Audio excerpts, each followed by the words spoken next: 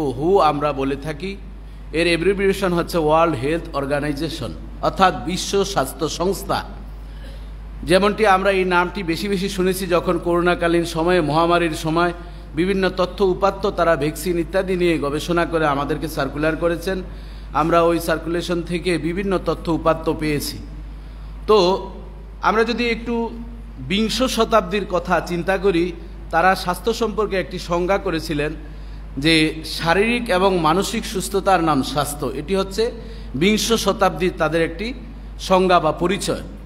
এরপর সেখানে যারা রিসার্চার ছিলেন, তারা গবেষণা করে আরেকটি বিষয়কে তারা সংযুক্ত করেছেন অ্যাড করেছেন, যেটি আমার প্রিয় নবী মোহাম্মদুর রসুল্লাহ সাল্লা সাল্লাম আজ থেকে গনে গনে প্রায় দেড় হাজার বছর পূর্বেই উম্মতকে সেই বিষয়ে সাজেশন করেছেন এবং দিক নির্দেশনা দিয়েছেন। সেটি কি?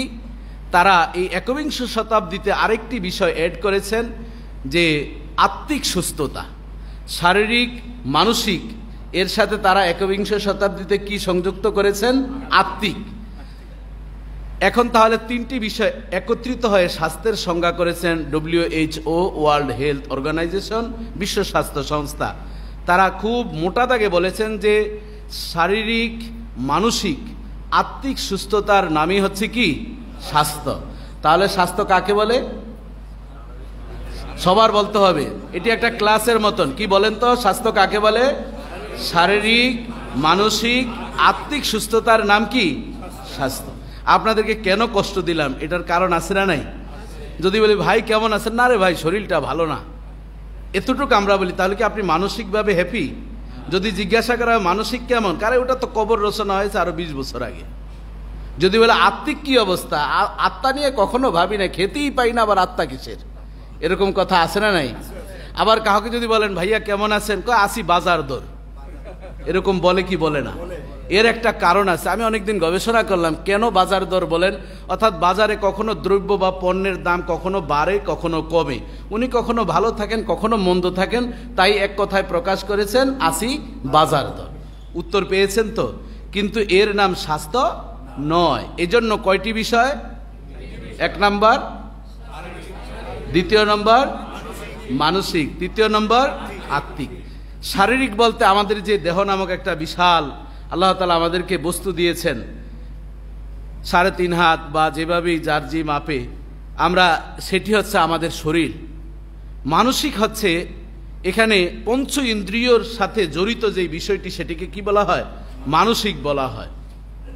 পঞ্চ ইন্দ্রিয় যে চক্ষু, কর্ণ, নাসিকা, এই এই যে কতগুলো বিষয় আমাদের অর্গান রয়েছে, এটি হচ্ছে মানসিক। এই পাঁচটা যখন একত্রে কাজ করবে, তখন হচ্ছে মানসিক আপনার একটি সুস্থ হবে। আর এর ভিতরে যে কোনো একটির ব্যত্যয় ঘটবে, একটি যে কোনো কারণে অচল হয়ে গেল, তখন আপনি কি? আপনি যে কোনোভাবে অসুস্থ হয়েই গেলেন।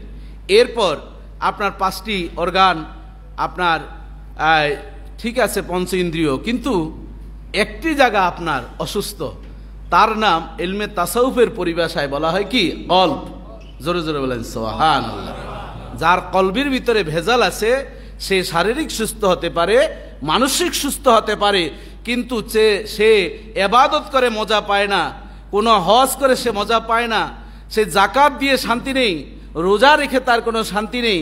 ধর্মীয় কথা শুনলে শরীরের ভিতরে জ্বালা পোড়া লাগে আসাদের মতন কিছু বলেগার আছে, যারা নবীর কথা বলে, নবীর বিরুদ্ধে কথা বলে, নবীকে ডাকাত বলে, জৈন নবী বলে তারা মজা পায়, তারা কোনোদিন আত্মিক সুস্থ নয়, বরং তারা হচ্ছে মানুষ নামের একটা অমানুষ পশু, কথা ঠিক কিনা বলেন?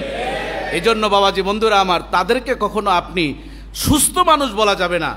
এরা যেমনভাবে মানসিকভাবে বিপর্যস্ত, তেমনিভাবে তারা আত্মিকভাবে আরও বেশি তারা লাইফ সাপোর্টে আছে, কথা ঠিক কিনা বলেন? আসাদ নূরের মতন ছোট্ট একটা মানুষ, যুবক, সে আমার নবীকে ডাকাত বলেছেন আরব জাহানের। কত বড় সাহস হলে নবীকে ডাকাত বলতে পারে, অথচ জামানার পয়গাম্বর চিন্তাই, রাহাজানি, ডাকাতি এবং এই সব কিছুকে ধিক্কার জানি একটা মানুষ কীভাবে সরল সঠিক পথে চলবে তিনি যেমনিভাবে একজন সেনাবাহিনী হিসাবে সেনাবাহিনীর প্রধান ভূমিকা পালন করে প্রধান সেনাপতি তিনি ঘোষণা পেয়েছিলেন। রাষ্ট্রপ্রধান হিসাবে তিনি একজন শ্রেষ্ঠ রাষ্ট্রনায়ক ছিলেন এবং তিনি আদর্শ স্বামী ছিলেন এবং আদর্শ একজন বয়ানকারী খতিব তিনি ছিলেন, ইমাম ছিলেন তিনি আদর্শবান এবং যুবকদের জন্য তিনি আইডল ছিলেন।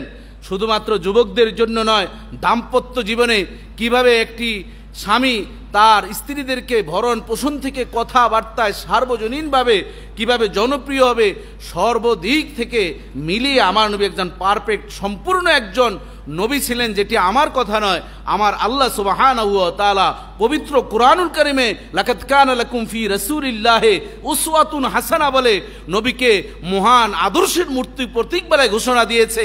আর এই বাংলার জমিনে বিভিন্ন স্থান থেকে, বিশ্বের প্রান্ত থেকে সেই নবীকে ডাকাত জৈনলুবি দর্শনকারী এ ধরনের মিথ্যা তহমত যারা দেয়, তাদের দাঁত ভাঙ্গা জবাব দেওয়ার জন্য কালেমাগ মুসলমান চব্বিশ ঘণ্টা আমরা প্রস্তুত। কথা ঠিক কিনা বলেন? সমানিত শুধুই এটি বলার উদ্দেশ্য